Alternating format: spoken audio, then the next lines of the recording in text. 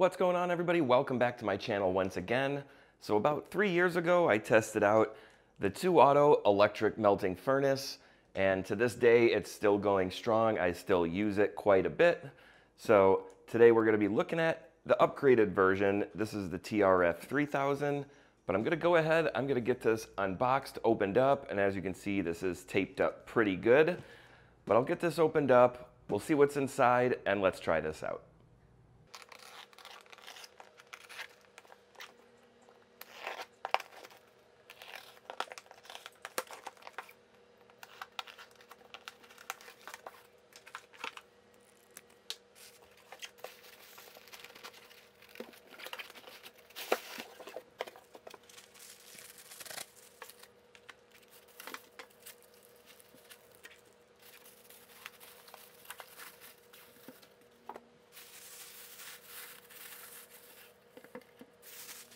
All right, so I got this all taken out of the box.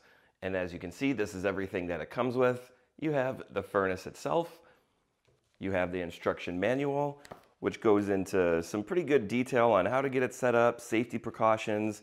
If you need to swap out a PID controller, change a resistance wire, it does go into to detail on how to do that, which is pretty helpful. You have the tongs, which is actually on a spring right here. So it lets go pretty easily. It does come with a graphite mold with a bunch of different designs as you can see.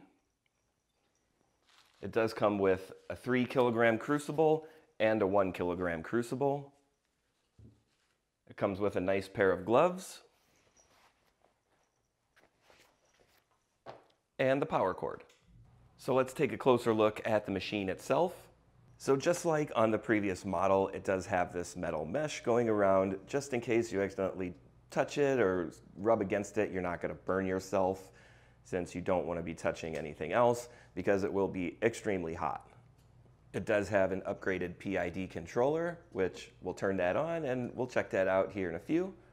It does have the power switch right on the right-hand side. And on the left-hand side, it does have a list of different metals and their melting temperatures, just in case you don't remember them. It is a quick little reference so that you know the melting point of different materials. And of course, on the back side is where you plug in the power cord. On the top, you have your hinge to place the crucible inside. And here you can see how deep it actually is. So all that's left to do now is take this out into the garage and try it out. Now I will be melting down some copper because it does have a much higher melting point than let's say zinc or lead or tin or something like that. So we're gonna try copper and they say that this will melt it in half the time as the previous model and the other one that I've been using, it takes about an hour to melt down copper, so I'm hoping this will do it in about 30 minutes, but we're going to find out. I will be using this three kilogram crucible, and I probably won't need an extension cord, but for those of you that if you do, I recommend using a thicker gauge wire just so you don't cause a fire or a short or it just doesn't produce enough current to get it to melt. But let's go ahead out into the garage, let's try this out and let's see how this works. All right, so I have this all set up outside and as you can see here, I'm just gonna be melting down a whole bunch of scrap copper wire that I had laying around. So we're gonna bend this all up, get it put in the crucible, turn this on and let's see how we can melt this.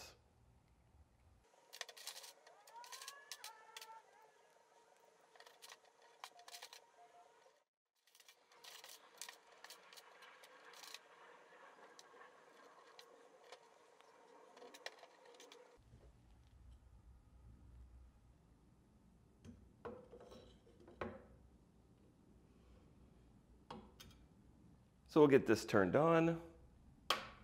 And I'm just gonna be using this graphite mold. So we have, this is the temperature that it's raising up to. I have this set at 1200. Now if you wanna lower this or raise this, I can easily just by pressing the numbers and I can have that set. Now it's set at 1100. I'm just gonna bump this back up to 12 to where it was at. And as you can see, this is actually rising pretty quickly. So I'm hoping this doesn't take that long to get up to temperature. So I'll let this run for a bit and we'll take a look at the time. We'll time this and go from there. So when I started this, it was like 242 Now you can see it's 244 and it's already up to 250 degrees. So we'll let this go for a bit more and we'll come back and check on the time. All right, so taking a look at the time, it's been about 10 minutes and we're already up to uh, 1120 just about.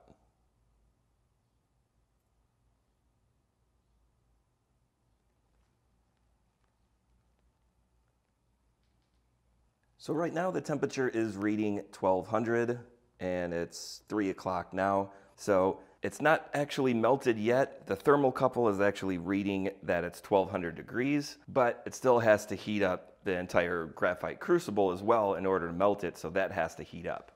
As you can see, I'll open this lid and it is glowing and it is hot, but it's not melted yet. Now this is the max I can set this temperature to.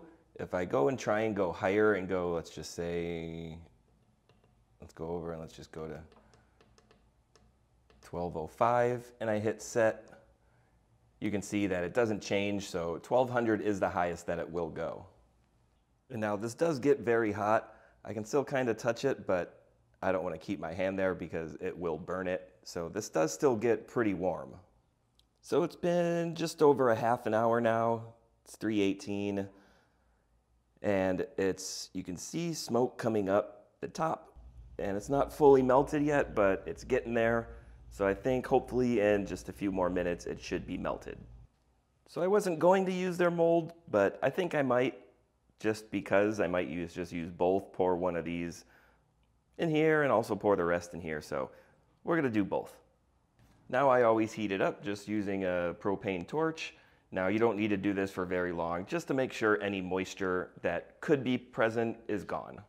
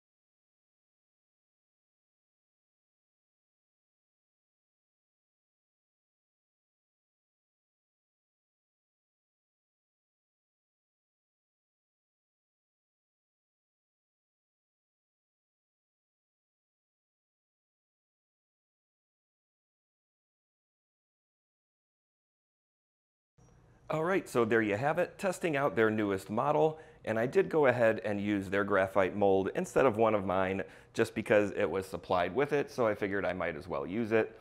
And here you can see the before and after of what it looks like once you clean up your pieces a little bit.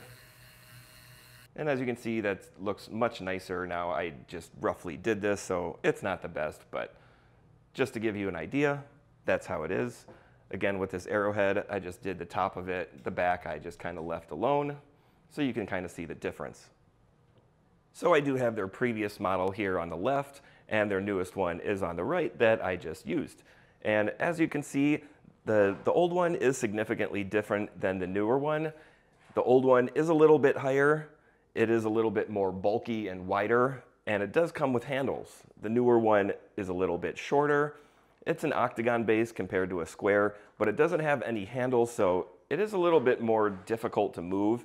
And by difficult means not as easy as with handles, because this really doesn't weigh that much. So it is fairly easy to move just by lifting it. So really not that big of a deal, but I do really like the handles on the previous one just because it is a little bit more simple to move around. Now the newer model did heat up significantly faster than their previous one, for me to melt down copper in the old one, it would take me about a little over an hour for it to fully melt and be done for the same amount that I did in this one. And this one took around 35, 40 minutes for it to completely melt for all of it. It did start melting around, I don't know, maybe 25, 30 minutes, but for all of it to melt took about 40 minutes. Their PID controller is just about the same, but this one probably is a little bit more simplistic, meaning it's just a little bit easier to use than this one. They're both very, very simple, but this one I think they just kind of removed a few different buttons that you don't need. So their newer model is 1800 watts compared to their previous one at 1400 watts, so this does heat up significantly faster. Now, keep in mind though that when this is heating up, it will reach the temperature, but the metal inside actually won't because it still has to heat up the entire crucible to allow all the metal to actually get melted.